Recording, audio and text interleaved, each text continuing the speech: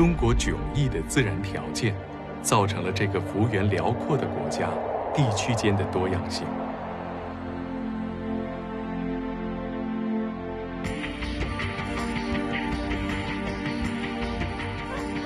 今天我们能够看到最原生态的生活方式，宁静的乡间小镇，以及最现代化的都市，在这个国家共存。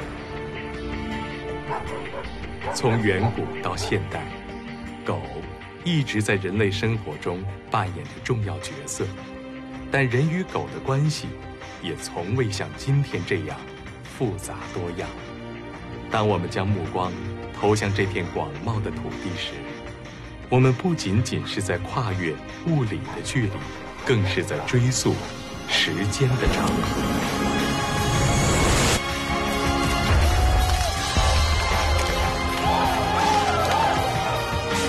在经济高速发展的今天，人类对待其他生命的态度，早已成为衡量一个国家文明发展水准的重要标识。这个故事，关于在中国，人和狗的关系是如何变化，以及是如何共存的。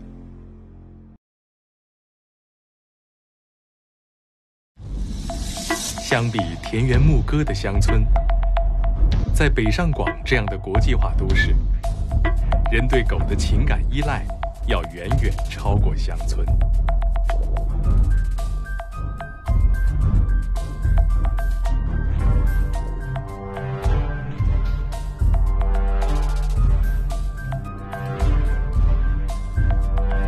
两千四百万条左右的犬，成为宠物犬，大约有八千万个家庭养犬。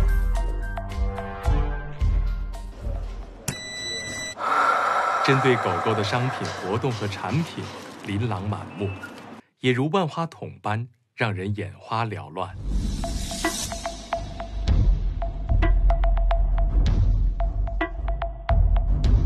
在宠物食品上面的呢，那我们对它微生物的要求呢比较高，那所以我们这里有一个一万级的好微生物的实验室，菌群总数、大肠杆菌、微量的元素、矿物质、水分、微分啊，天体的精度呢是万分之一克。这个包装线所生产、所包装出来的食品，呃，是全部与人体无接触、低温烘烤，更有营养。那么，采取这样的目的，就是使这个食品的营养成分流失的更低。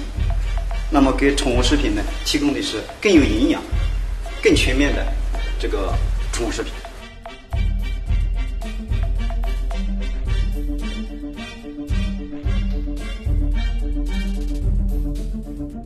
有热敏的维生素，高油脂、高蛋白、新鲜油脂类的、新鲜果蔬类的、新鲜肉类的。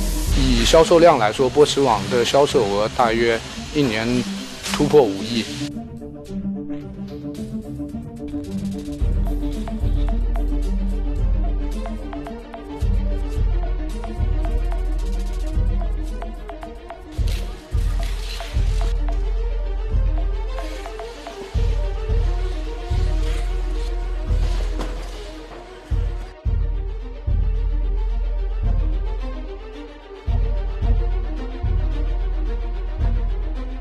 对于产品的品质，呃，以及适口性等等方面要求很高，对于他们的生活会非常关注。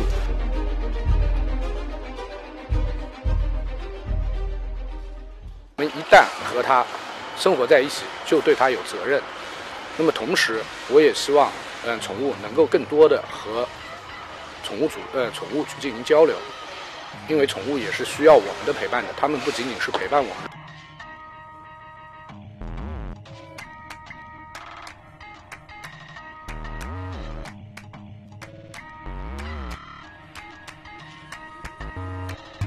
它的市场会越来越大，每一天发货的包裹数超过一万五千个包裹，也就是说，每一天我们会为超过一万两千个用户去提供服务。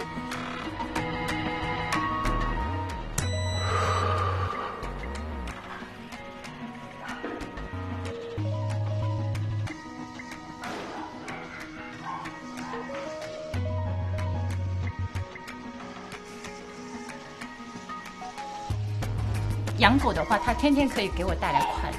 不管是狗也好，人也好，它都是一条生命，你一定要尊重生命，是我生活中不可缺少的一部分。也可以说，我把它们当做家里的小孩来养，不是单单宠物的这个概念。就是如果说你真的把它当成自己家里人来看待，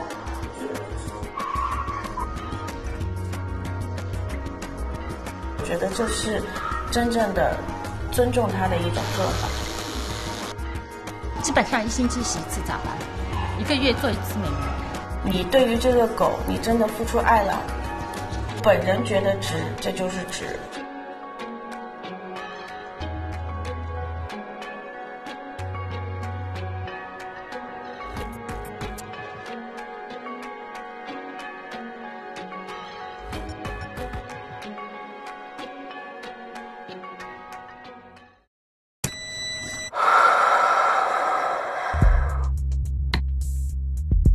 来自宝岛台湾的梗犬专家李新华，在闲暇时喜欢骑自己的摩托车。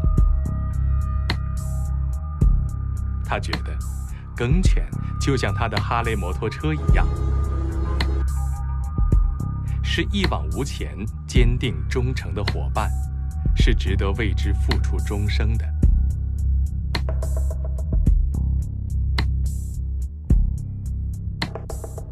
梗犬是一种个子虽小，但异常勇猛、精力充沛的犬种。李新华饲养的梗犬以雪纳瑞和刚毛猎狐为主，其中一只刚毛猎狐已经连续几年在犬类比赛中获得大奖。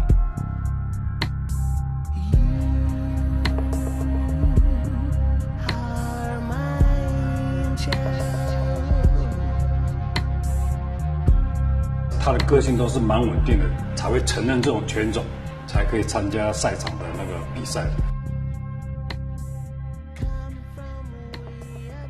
CKU 是世界犬业联盟在中国唯一授权的合作伙伴，旨在推进中国犬业健康发展。定期举办的 CKU 赛事和犬展，为纯种犬展示以及爱犬人士提供了交流沟通的平台。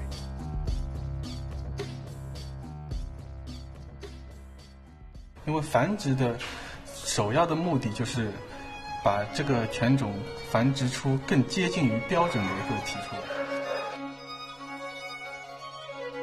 慢慢的，伴随着宠物行业的崛起与快速发展，必然会让更多的人关心狗。如何科学的养狗，也随着这些爱狗人士的传播，开始逐渐深入人心。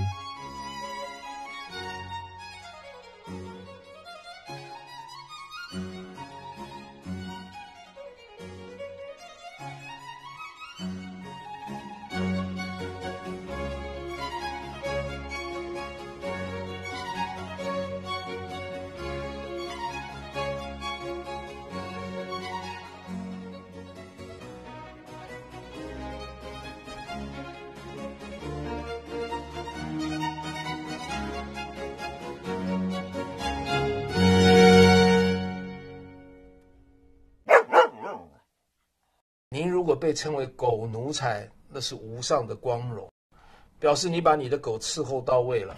你这个狗奴才，我心花怒放啊！主人想给宠物更好的一些服务，但其实他不知道怎么去爱这个宠物，他只能把自己的爱用那种很满的形式给宣泄出去。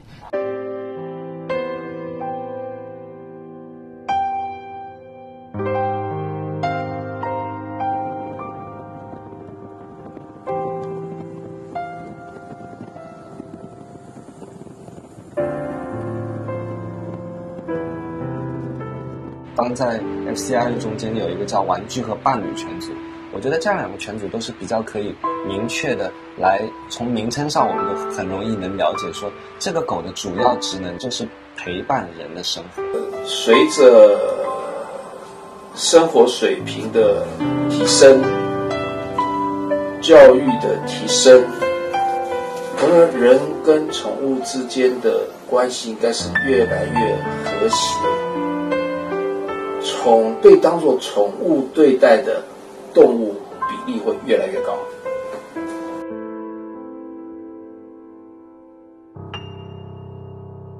它的特性就是粘在你身上，让你有一种被需要的成就感。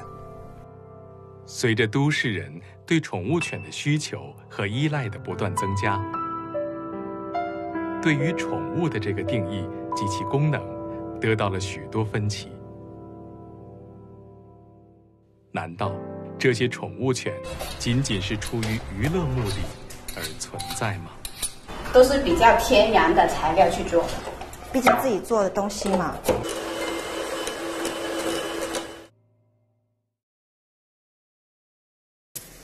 小星仔，啊，好嘢，好嘢！啊，生日快樂，耶！好啦，吹蠟燭你自己吹啦吓，你先吹啊，我幫你吹啦。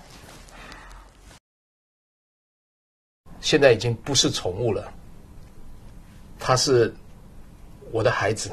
从他回来到家里一把屎一把尿的，当他儿子养的。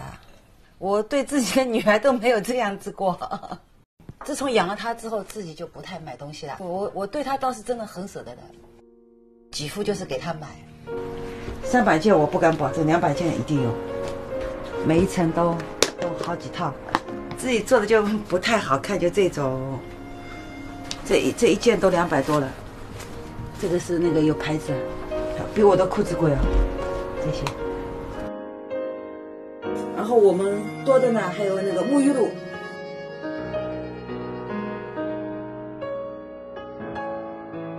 家里人都说这个已经不是家了，是狗窝了。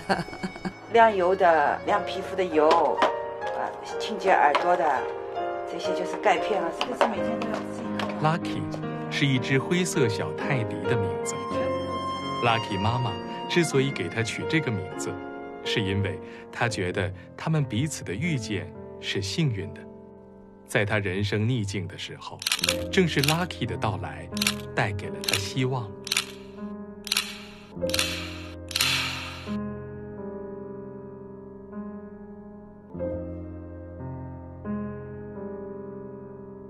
拥有这样一个贴心的妈妈，Lucky 也确实是幸运的。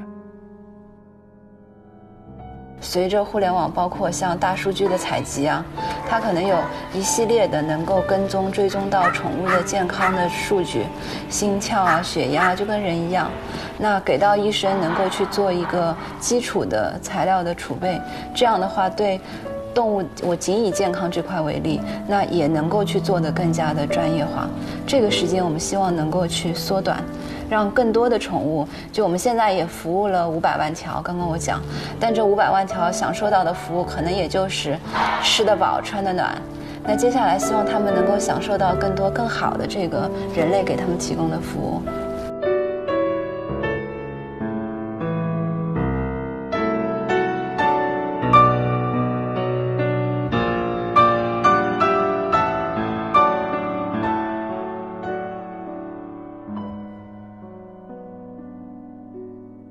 寂寞吧，我觉得人跟宠物这个几千年下来都是这个诉求吧，就它需要爱跟被爱。随着现在城市化的程度越来越高，大家都觉得缺爱嘛，缺爱从人身上再得到这个爱已经很难了。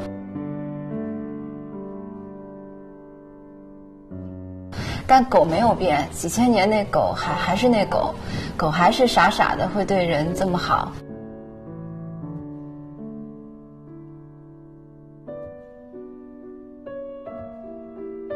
所以这样就无形当中满足了这人类对爱的这一块的诉求。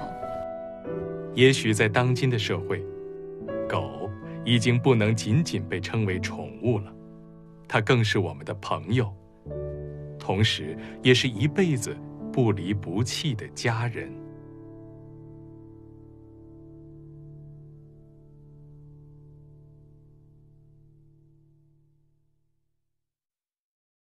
十一岁的 Happy 是一只下半肢瘫痪的腊肠猎犬。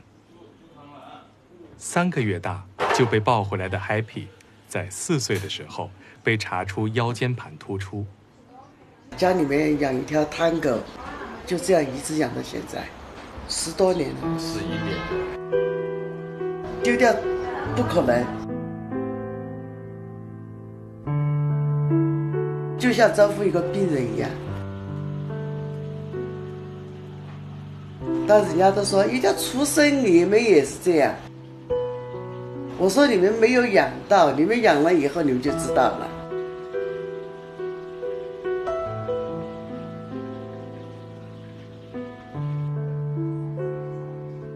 他就是怕我们不要他，这里他是特敏感，反正你说什么他就听，他就怕你怕你嫌，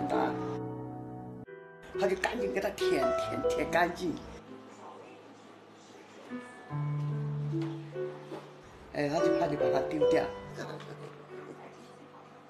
要不然就脏了。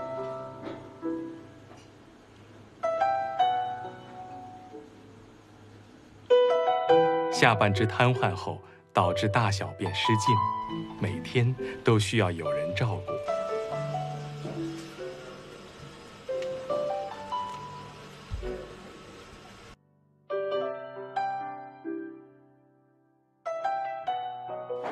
一般的狗都可以自己把用用后腿抓嘛，对吧？它现在抓不了。哎，把脚站起哈，站起，站起，扯下地气就好。走走走走。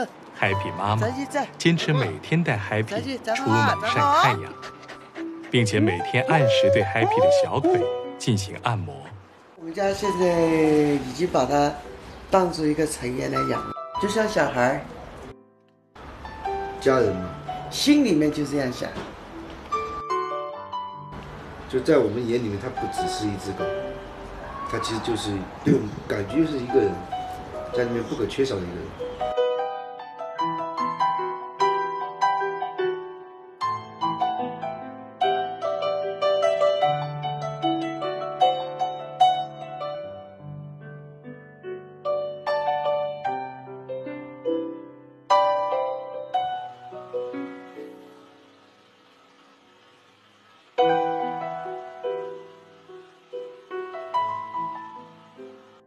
就这个家伙，讨厌他，你又心疼他，哎，你又烦他，但是你又爱他，养到半途而废，你不可能把它丢掉，丢掉不可能。我建议那些没有养狗的人，或者想养狗的人，最好考虑清楚，养了以后你就要当小孩一样养。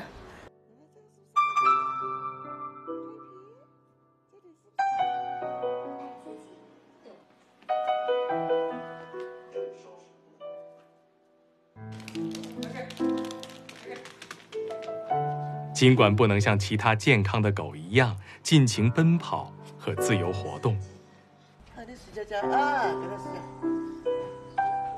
但是拥有这样一个有爱的家庭，Happy 也是幸福的吧。